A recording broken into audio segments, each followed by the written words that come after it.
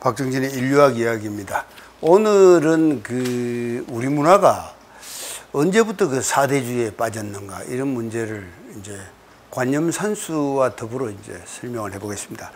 사실 그 우리가 이제 고대 문화로 올라가면 그 굉장히 동아시아의 그서 무명을 아주 그 이룬 그 민족입니다. 특히 그 오늘날 그 홍산 문화 같은 것은 뭐큰 증거가 되죠. 어, 이미 8천년 전, 8천년 전에 어, 상당한 문화를 이뤘다는 게 지금 많이 속속 드러나고 있잖아요.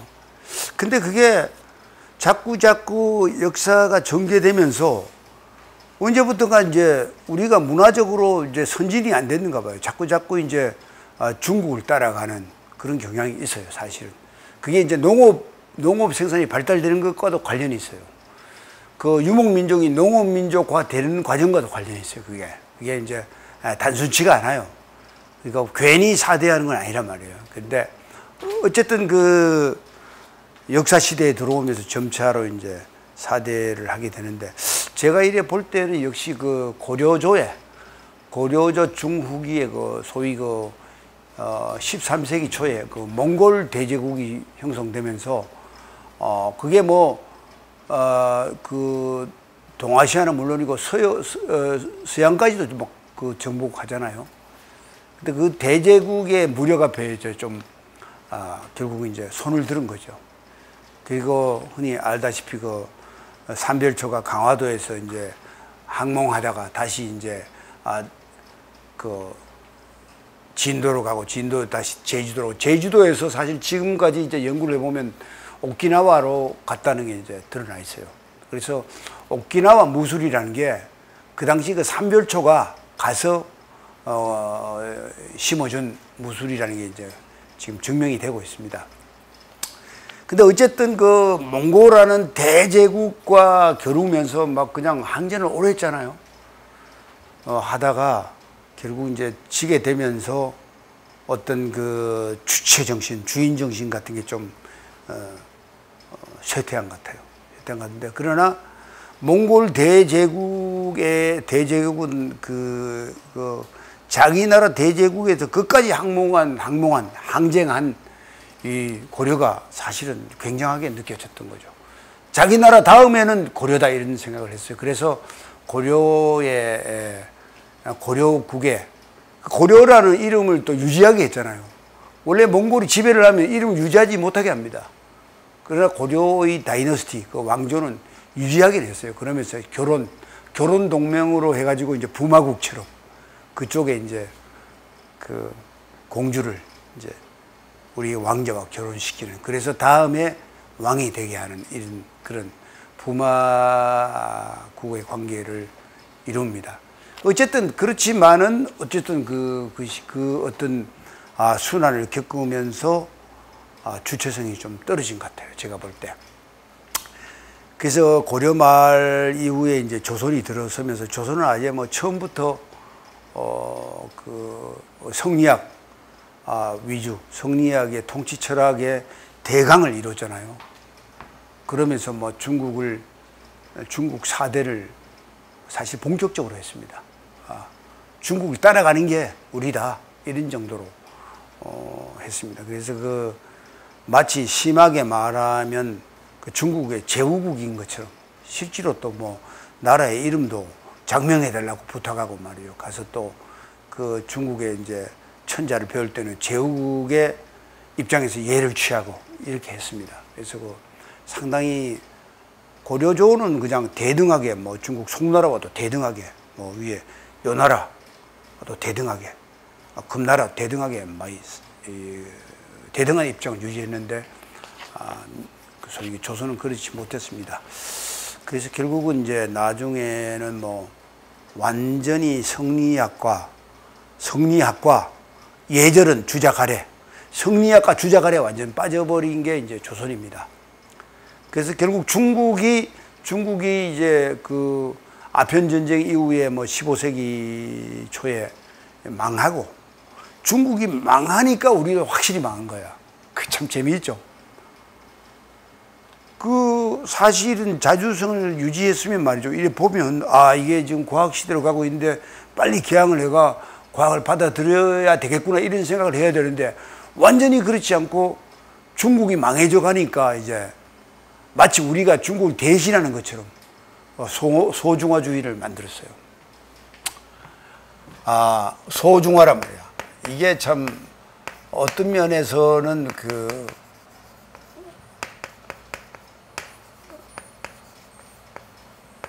이게 사실은 말 소중화라는 게 굉장히 뭐 자기 중심적인 것 같지만 이제 사대주의의 사대주의의 뭐 그냥 사대주의의 완결판입니다. 완결판. 완전히 그 중국 속에 빠져가지고 완결판. 중국이 망하니까 뭐 소중화주의로 우리가 중국을 대신한다 이러면서 나섰는데 그 말도 안 되는 얘기죠. 어, 시대가 어떻게 변한지도 모르고 중국의 성리학과 주제 가래에 빠져 있었던 나라가 이제 조선입니다. 뭐 그런 가운데서도 뭐 한글이 창제되고 여러 가지 또 잘한 점도 있죠. 그러나 크게는 이렇게 되어서 그 15세기 이후에 16세기, 17세기 들으면 중국이 망하면서 우리나라도 완전히 망하고 어 그 일제 식민기로 들어가잖아요. 근데 이제 사대주의를 하다가 사대주의를 하다가 이게 사대 사대주의를 하다가 식민지가 됐잖아요. 식민지가 됐잖아요, 이게. 조선이 망하고. 근데 그러한 전통들이 지금도 내려오고 있단 말이에요. 그러니까 선진 문화라는 것은 큰 나라에 가서 문물을 가져와서 그대로 복사해 가지고 모방해서 활용하면 되는 것처럼 하고 있죠. 그 사대주의라는 게 뭐 사대주의라는 게 꼭 나쁘다 이렇게 뭐 어, 말할 수는 없어요, 사실은. 작은 나라는 큰 나라의 문물을 받아들여야 되는데 문제는 4대만 하고 있는 게 문제야. 큰 나라의 문물을 뭐 선진문물을 받아들이고 우리도 따라가야 되는 건 당연한데 문제는 이게 이제 4대주의를 읽고 주의가 문제야.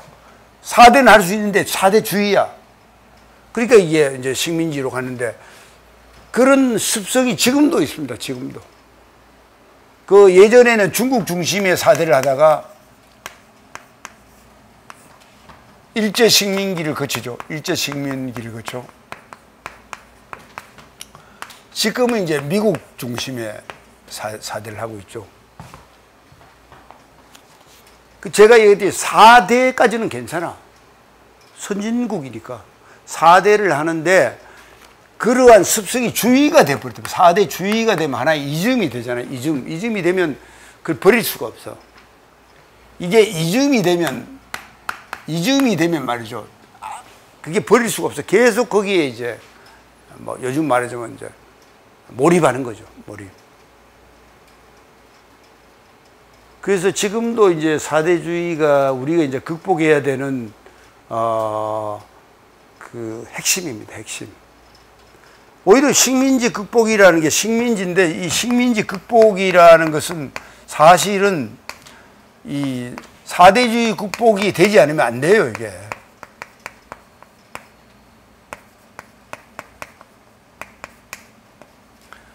말만 말이죠. 말만 뭐 식민지 극복 계속 떠들잖아요. 이거는 아무 의미가 없어요, 의미가.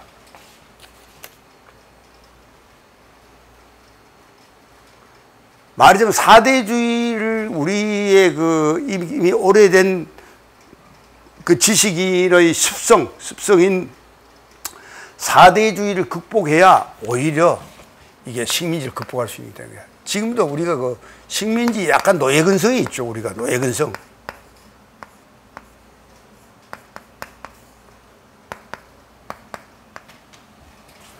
노예근성이라는 것은 뭐 잘 사는 사람은 없고 못 사는 사람이 있는 게 아니고 다 노예근성이 있는 거예요, 우리는. 그이 노예 근성을 벗어나야 되는 게 이제 우리의 그 과제, 과제죠. 과제인데, 아, 이게 이제 현안입니다. 현안. 소중화주의는 사대주의의 결정적인 완결적인 표현이고, 지금 사대주의 계속되어서 중국 사대를 하다가 일본 식민지를 거치고 미국 사대를 그냥 하고 있고, 식민지 극복을 많이 떠들지만 입으로 아무 떠들면 소용이 없어요. 인간이 이 대가리에서 머리에서 사대주의를 극복을 해야 되는 거예요. 그래야 식민지를 극복할 수 있다고. 만약에 이게 극복을 못했으면 아직도 노예란 말이야. 노예 근성이 있어요. 오히려 노예 근성이 지식인애가 더 있어요. 지식인. 지식인일수록 지식인일수록 노예 근성이 있단 말이야. 일반, 일반적으로 뭐 먹고 살기 위해서 움직이고 뭐 이렇게 활동한 사람이 뭐 노예 근성이 뭐 필요합니까? 그냥 자기 열심히 살면 벌어먹고 사는 거 아닙니까? 문제는 지식인이 노예란 말이에요. 지식인 노예. 그래서 그 우리의 가장 큰 문제가 지식인의 노예 근성이라는 거예요. 이게 이제 조선조 때 이제 중국 사대하면서 이제 일어난 거죠. 그 흔히 뭐 그 사대주의를 설명할 때 무슨 그 문화적인 설명은 좀 관념적이잖아요. 추상적이죠. 추상적. 근데 저는 이제 그 사대주의를 얘기할 때 흔히 관념산수를 얘기를 해요. 관념산수. 어, 뭐 산수라는 게 이제 그림입니다. 그림을 뭐 산수라는데 관념산수. 제가 이제 미술사를 공부하면서 가장 놀란 게 관념산수라 그래서 처음에는 말이죠. 무슨 관념을 그리는 줄 알았어. 관념을. 우리나라 산천을 이래 보면 어떤 산천 그 자체가 아니라 내가 받아들인 어떤 관념이 있어. 그린 줄 알았어. 아니야. 관념을 그리면 그거 상당히 그 자기 주체가 돼 있는 거야. 자기 관념을 그리니까. 놀랍게도 이 관념산수라는 중국의 중국의 실경이야, 실경. 음.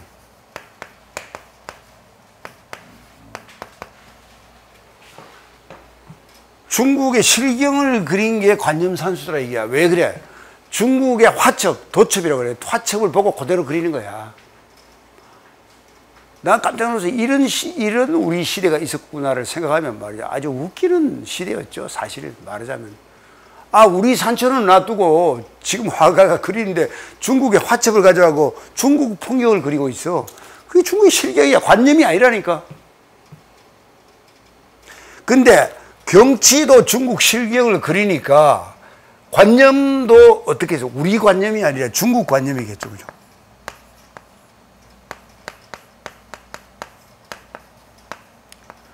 마치 중국의 관념을 뭐 갖고 있으면 뭐 대단한 것처럼 이렇게 의시되잖아요. 화가라는 것은 어떤 자연을 일단 그 모사하는 것부터 시작하니까 그 화, 그 화풍 관념산수에서 가장 그 잘 볼 수 있어요. 중국의 실력일 뿐만 아니라 관념이라 하더라도 중국의 관념이라고 해요. 내 관념이 아니야. 이 관념산수라는 요 말에서 그냥 뭐, 그, 이 사대주의가 아주 막 그 극명하게 드러나는 거죠.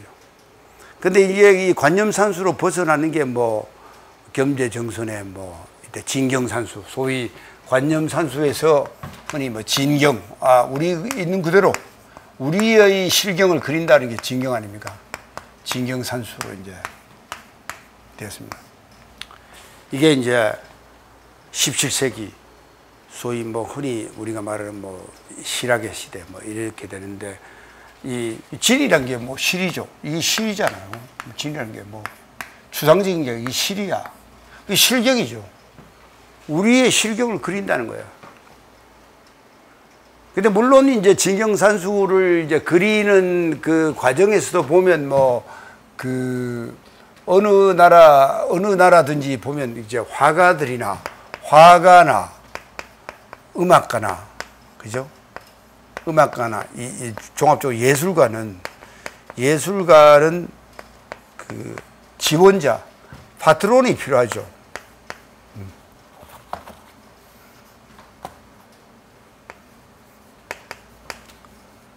뭐 지원자죠, 그죠? 뒤에 지원자가 필요합니다. 그래서 물론 진경산수도 그 당시 양반 계급, 양반 계급이 되게 이제 노론이었어요, 노론. 노론이라는 게 사실 사대주의의 핵심인데 그래도 이, 이, 이 양반들이 벼슬 아치니까 아무래도 잘 살 거 아니야. 노론의, 노론의 지지를 받아요. 계급적으로는 이 파트론이 노론이란 말이야. 그렇지만은 이제 그리는 화가는 우리의 이제 아, 실경을 그리는 거죠. 그러니까 발전을 했죠.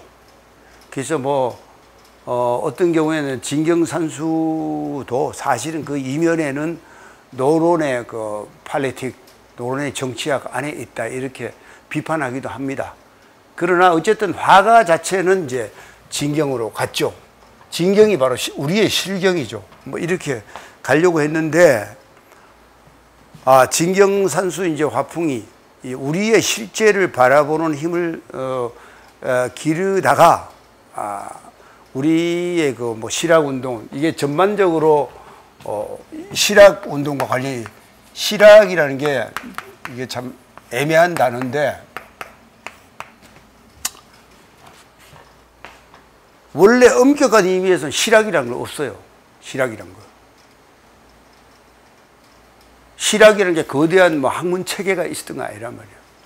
굳이 말하자면 성리학이 너무 허학이니까 공리공론에 빠져 있는 것을 아, 그건 너무 공리공론 아니냐 이렇게 해서 성리학의 공리공론의 이제 하나의 반대급부로 어, 반대로서 이제 실학이라는 이제 이름을 만들고 어 이제 그 실경 진경산수 그 실경을 그리는 것과 더불어 우리의 이제 과학 과학적인 사고도 이제 하게 됩니다.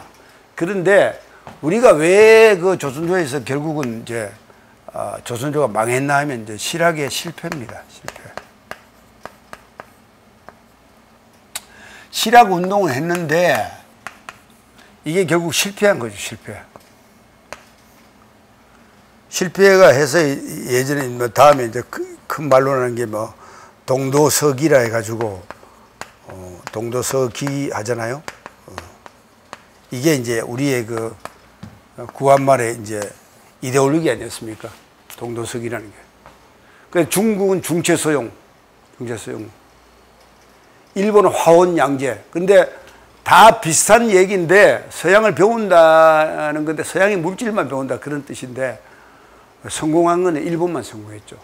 그 중국도 중체소용이 안 되고 결국 우리도 안 되고 해서 동도서기와 중체소용은 실패하고 화원양제를 주장했던 이제 일본만 성공했죠.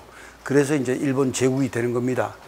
근데 실학 운동이 결과적으로 이제 우리가 실패했다고 어, 말하죠. 말하는데 어쨌든 그래도 이러한 운동이 있었다는 것은 굉장히 예, 중요합니다. 왜냐하면 지금 미래에도 어, 우리가 저런 걸 주장할 수 있는 거죠. 어, 저런 운동을 할 수 있다는 하나의 여지가 있습니다. 그래서 그 그러나 실학이 이제 실패함으로써 이제 우리가 이제 일제 일제 강점기로 들어가게 됐는데 아, 이 관념산수란 말에서 사대주의가 이제 그냥 드러나죠. 이 관념산수란 말에서. 근데 그 저는 그래서 그 사대주의를 이야기할 때 조금 뭐 그냥 관념적으로 얘기하는 게 아니고 아, 그림의 어떤 전통 속에서 얘기하는 걸 좋아합니다. 왜냐? 그게 이제 확실하단 말이에요.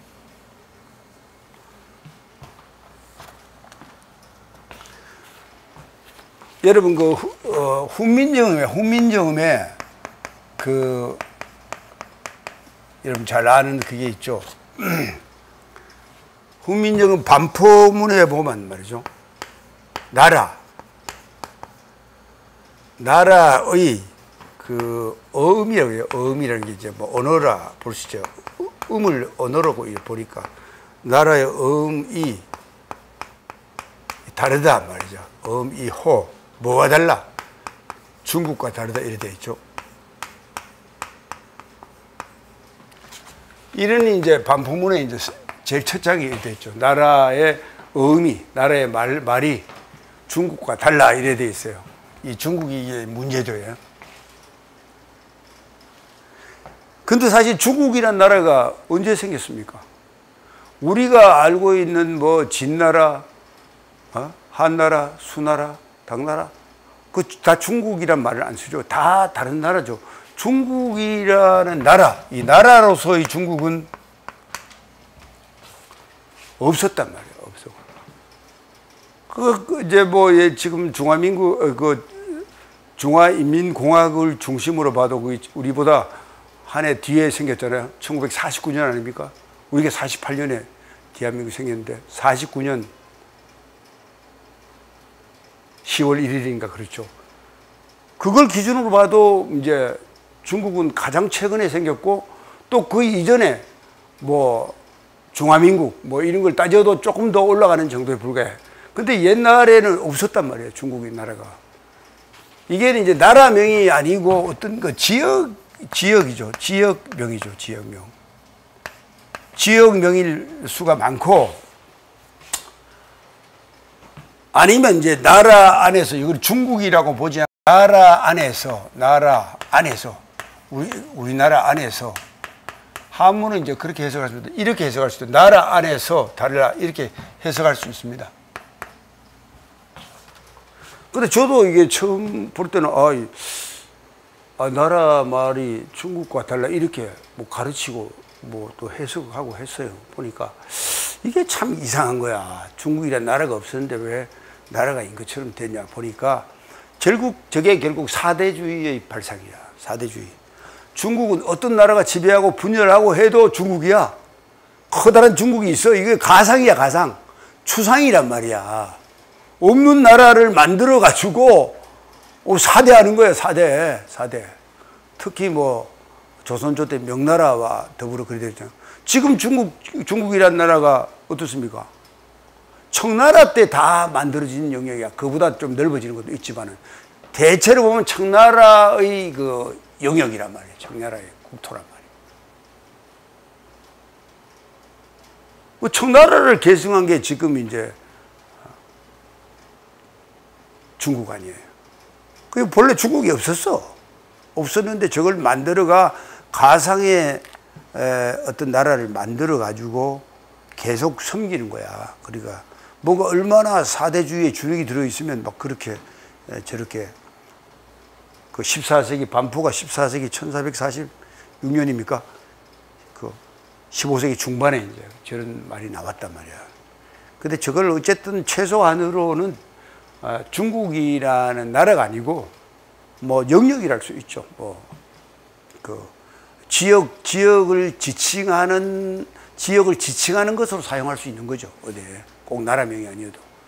그래서 그 어, 저는 요즘에 저게 이제 중국이 아니라 중국이라는 나라가 아닌 그 지칭, 지칭명으로서, 지역명으로서 사용하거나 아니면 우리나라 안에서, 나라의 말이 나라 안에서 달라. 이렇게, 아, 국중으로 이제, 중국이 국중으로 이제 해석할 수도 있습니다. 원래 한문은. 근데 이렇게 이제 해석했는데, 요런 말도, 어, 사실은 우리가 무의식 중에 얼마나 그 나라도 없었던 중국이라는 나라가 없었는데 불구하고 지역 명칭으로서 사용하면서 그 나라처럼 대했단 말이야.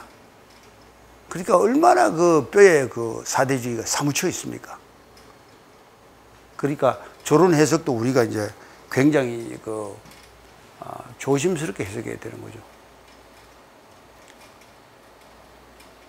뭐 중국과 발음이 다른데 무슨 문제 있습니까? 우리 우리 중국어 발음 다르면 우리대로 발음하면 되는 거지 뭐 꼭 중국 발음에 맞춰야 될 이유가 어디 있어요?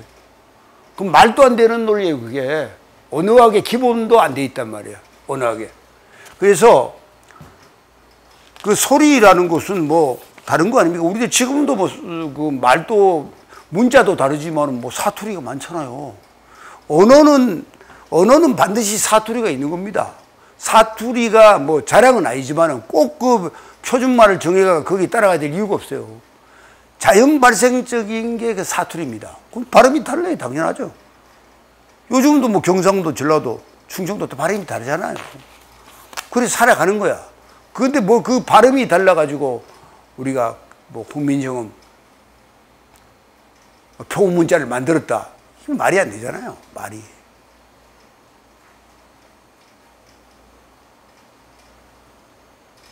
그 특히 중국과 달라라는 말이 안 되죠. 차라리 나라 안에서 다르다 그러면 나라를 다를 수 있죠. 그리고 우리가 표준말로 쓰고 뭐 우리가 방송국 말할 땐 표준어를 사용하고 뭐 문 그 문장 그, 그 문어체 글을 쓸 때는 표준말을 많이 사용하죠. 이런 거는 뭐 좋죠. 근데 그걸 뭐 중국과 거대한 중국과 기준해 가지고 달라 가지고 아 나라 그 후민정을 만들었다는 것은 뭐 말이 안 되는 거죠. 근데 이, 이 해석도 어, 사대주의의 그저 아주 그 심볼릭한 어, 겁니다. 근데 그 이러한 그, 그 사대주의라는 게 왜 그 우리를 이제 이 뭐 장악하고 괴롭히느냐 이걸 이제 생각을 뭐 저는 인류학자로서 해봅니다. 근데 우리 문화는 이상하게 언제부턴가는 내잘 모르겠어요. 모르겠는데 꼭 외래 종교, 외래 사상 이들은 사죽을 못 써요. 그 이유를 잘 모르겠어요. 뭔가 이유가 있겠죠. 그죠? 종합적인. 외래 종교와 사상이 들어오면 바로 그냥 우리가 그걸 마치 그 실시해야 되고 실천해야 되는 것처럼 착각을 해요. 그걸 우리가 받아들여가지고 우리에 맞게 그 말하자면 그걸 체화해서 우리식으로 다시 만들어내서 사용하는 그 습성이 없단 말이에요. 바로 그걸 뭐 해야 되는 것처럼 생각하는데 아, 제가 이제 그, 왜 그런가를 이제 소위 그 인류학적으로 따져보니까 한국 문화의 구조적 특성이 있어요. 근데 텍스트, 이 바이블, 바이블을 생산을 잘 못해. 텍스트, 중요한 텍스트를 생산을 못해. 이거는 항상 이제 외래적인 텍스트가 들어와야 돼. 우리는 그걸 context를 중시해. 텍스트는 못 만드는데 이 남의 텍스트를 가져와 가지고 context라는 건 자기 상황에 맞게 이제 실천하는 것일 수도 있어요. 맞게 이제 적당히 맞춰 가지고 이제 하는 거죠. 그러니까 텍스트를 생산을 못 해. 거꾸로 말해서는. 텍스트를 생산하는 나라가 선진국이에요. 텍스트를 생산하는 선진국이란 말이야. 이걸 생산을 못하면 후진국이 될 수밖에 없어. 아무리 잘해도. 잘 따라갈 수는 있겠죠. 그 모방해가. 잘 따라가지만은 그건 한계가 있어. 어느 시점 한계 있어. 그래서 오늘날 그렇죠. 우리가 왜 그 중선진국에서 선진국으로 발돋을 못하냐. 발돋움을 못하잖아요. 지금 힘들어 하잖아. 그 원인이 나오는 거야. 텍스트를 우리의 독자적인 originality가 있는 텍스트를 생산해 본 경험이 없는 거야. 아니면 너무 오래됐거나. 옛날에는 생산했는데 뭐 생산해 본 적이 없어. 요걸 이제 음악에 비유하면 이제 작곡과 연주라 볼 수 있어요. 우리 작곡자가 별로 없어. 작곡 작은 작곡은 하는데 큰 작곡가가 없어. 작곡가. 그, 그 대신 연주가는 많아. 세계적인 연주가는 많죠. 우리나라가. 작곡가는 없는데. 세계인 작곡가 있습니까? 뭐 흔히 뭐 아니케 선생 이런 얘기를 하는데 세계적인 작곡가라 해도 제대로 뭐 작품 뭐 없잖아요. 한두 작품이지. 서양의 그 자, 유명한 작곡가 있죠. 바헨델, 모차르트 이런 식으로 안 나오는 거예요. 우리가 그만큼 이제 어, 소득이 올라가고 그 빈곤으로부터 벗어났음에도 불구하고 이 작곡을 못 하는 거야. 그 연주가는 많아. 이게 이제 언어학에서 보면 랑그와 파롤이라는데 랑그라는 게 이제 법칙적인 거고 파롤은 법칙을 준수하는 거야. 아, 실천하는 거라 볼 수 있죠, 이게. 이거는 이제 되게 텍스트 작곡 랑그는 머리와 관련돼, 머리. 요거는 다 신체와 관련돼. Body. Head body.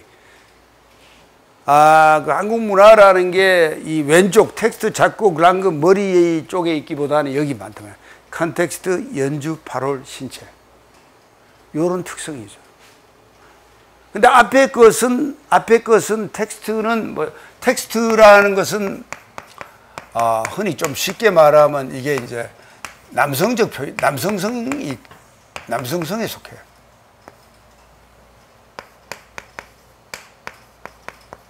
context라는 것은 이게 이제 여성성에 속한단 말이야.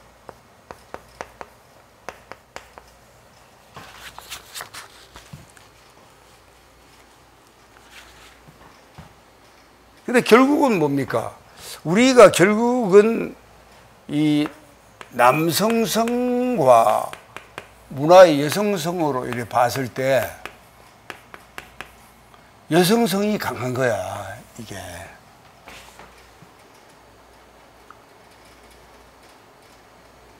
이제 그렇게 볼 수 있단 말이야.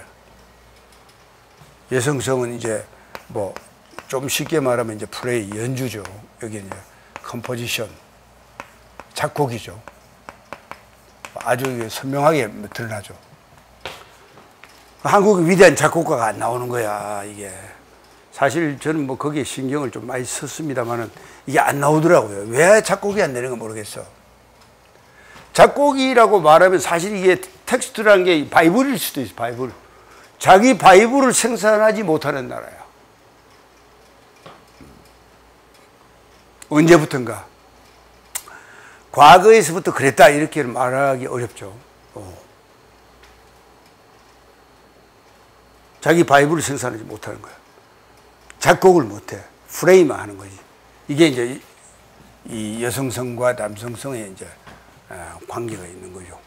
요런 특성이 있더라고요.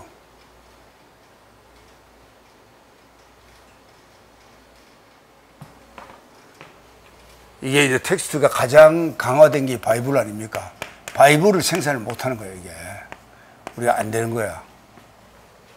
이게 이제 바이블을 믿음, 신앙, 빌리브 하는 거. 빌리프는 잘 되죠. 바이블을 생산하는 건 잘 못하고 외래 종교와 이게 이제 이 외, 외래 종교와 외래 종교는 물론이고 종교와 사상 사상을 빌리브 한단 말이야. 이게 우리나라가 종교가 성한 것과도 관련이 있어요, 다. 그게 뭐 우리나라 문화 특성과도 관련이 있구라는 걸 생각하면 이제 이게 구조적인 문제잖아, 그죠? 그래서 이게 구조적이라는 말은 그 변하기 어렵다는 말과 통합니다. 그래서 뭐 어떻게 보면 어 그게 우리의 특성이니까 그걸 특성을 잘 살려야 되는 음, 이야기를 할 수 있죠. 특성을 잘 살려야 된다. 우리 특성이니까 뭐 남성성보다는 여성성이 강하니까 그걸 갑자기 바꿀 수도 없고 그래서 이걸 잘 살려야 된다는 이제 아, 얘기를 할 수 있습니다. 어, 제가 이제 그 무슨 그 어떤 그 집필 활동을 시작할 때 제일 먼저 쓴 게 이제 예를 어, 책 중에 아직도 사대주의라는 책이 있어요. 아직도 사대주의. 사대주의라는 이제 사대주의에 쉽게 말하면 아직도 사대주의에 빠져 있다는 거죠. 빠져 이게 벌써 1994년에 나왔으니까 몇 년입니까? 꽤 됐죠. 거의 뭐 94년이니까 뭐 30년 됐죠. 20년을 넘었죠. 사대주의에. 근데 요걸 지금도 94년에 책을 냈는데 지금도 어, 그대로 적용이 돼요. 그, 그 당시에 제가 이제 책을 한번 들춰보니까, 아, 일제, 일제 식민지가 된 것도 사대주의 때문이고, 뭐 여러 가지 비판을 많이 했더라고요. 한국 문화에 대한 이제 인류학자로서 비판을 많이 했더라고요. 근데, 아, 불행하게도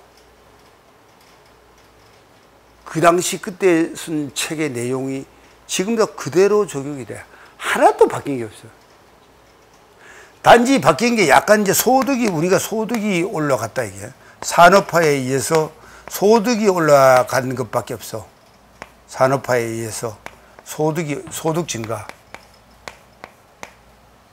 근데 이것이 사대주의를 벗어나고 주체 주체적 우리나라의 주체적 문화 능력, 주체력을 아, 주체적 문화 능력을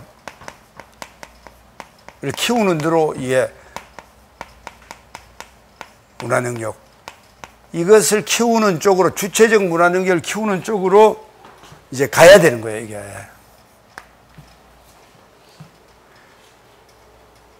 나라가 좀 잘 살 때 이 주체적 문화 능력을 키워서 우리의 그 주인 주인 정신을 강화하지 않으면 이제 어떤 기회가 없어지는 거죠 그죠 뭐 조금 이제 풍부할 때 어, 문화 문물이 풍부할 때 주체력을 키울 수 있죠 의식주도 해결하지 못하는 사람이 무슨 주체력이야? 그건 가짜 주체력이죠. 의식주도 해결하지 못하는 주체력은 가짜 주체력입니다. 그거는 그 말만의 주체력. 그 웃기는 거죠. 그거는 사실은. 그런데 산업화 소득 증가 의식주를 해결한 다음에는 사실은 주체적 문화 능력을 키울 수 있어야 되는 건 말이에요. 근데 아직도 보면 우리 문화에 머리 좋으면 뭐 판검사 의사를 이제 시키고 싶은 게 우리 가정의 그 목표 아닙니까? 이제 그런 식으로 어 문화가 운영돼서는 절대로 주체적 문화능력이 키워지지 않습니다. 그 자체가 나쁘다는 게 아니라 그런 것도 있어야 되지만은 문화가 다방면에 크고 예술 궁극적으로는 문화가 예술에서 어 capa 그 capacity 예술에서 영역을 넓혀야지 이제 선진국이 되는 겁니다. 이게. 근데 그게 아니고 그냥 매일 먹고 사는 문제 때문에 그걸, 그거에 대한 안전 보장을 위해서 뭐 판금서가 됐어야 된다, 의사가 된다, 이렇게 얘기해져 가면 절대 선진국이 안 되죠. 그건 제가 보장할 수 있습니다. 절대 선진국이 안 됩니다. 그거는. 그래서, 어, 자기의 그 소위 이 지배계층, 지도계층, 지식, 지식인들이 자기의 안위를 위해서 노력하는 거죠. 그죠? 어, 안위를 위해서. 있는 자들이 아, 자기의 안위만 이해한다. 자기 가족의 안위만 위한다면 어떻게 선진국이 되겠습니까? 언젠가는 그게 이제 문화적인 그 문화 능력이 쇠퇴해 가지고 나중에 이제 아 이게 주체적인 문화 능력을 이제 키우면 키우면 올라가고 문화 능력을 키우면 성장시키면 올라가고 여기를 못하면 어떻게 하강 문화력을 키우지 못하면 이제 후진국으로 자기도 모르게 전락하게 됩니다. 아, 한때 뭐 잘 살았던 뭐 나라, 뭐 예를 들면 뭐 필리핀이라든가 아르헨티나라든가 특히 뭐 브라질까지도 뭐 꽤나 그 잘 살아가지고 뭐 잘 살았던 나라가 아, 지금 전락한 경우가 많죠. 그것은 뭐 우리가 아, 잘 산 나라를 뭐 원하지 않은 게 아니죠. 요런 그 산업화, 소득 증가, 주체력, 문화 능력의 향상, 성장 이런 걸 이제 잘 해야지만 선진국, 이 되고 한 번 선진국의 테이크오버가 올라가잖아요. 올라가면 내려오고 싶어도 못 내려와요. 예를 들면 세계적으로 뭐 대충 뭐 세계 한 5위 정도의 5위 정도의 선진국이 되었다. 우리가 한번 올라갔다. 선진국이 되었다. 5위. 5위 정도 올라가면요. 후진국이 되고 싶어도 막 그 될 수가 없어. 이미 그 단계로 올라가면.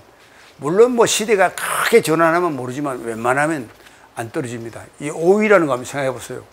저게 어, 어마어마한 지위입니다. 큰 나라 몇 개만 뭐 따져봐도 다섯 개 나오잖아요.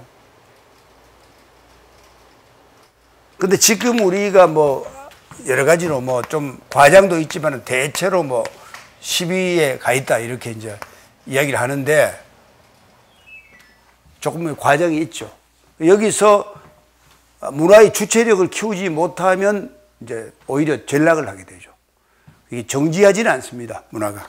이제 그러한 어, 한국 문화의 그 사대주의와 아, 그 사대주의와 관련되는 문화적 특성이 있기 때문에 아, 상당히 좀 어, 잘못하면 좀 비관적이 되기 쉬운데 우리가 철저하게 주체적 문화 능력을 키우는데 여기 이제 지식인이 앞장을 서야 됩니다. 왜? 사회 지도층이 지도인사니까 앞장을 서가지고 문화 능력을 키우는 걸 이제 실현하면 선진국이 되고 그걸 실현하지 못하면 이제 선진국의 꿈이 이제 물거품이 되는 거죠. 그래서 우리가 굉장히 기로에 있습니다.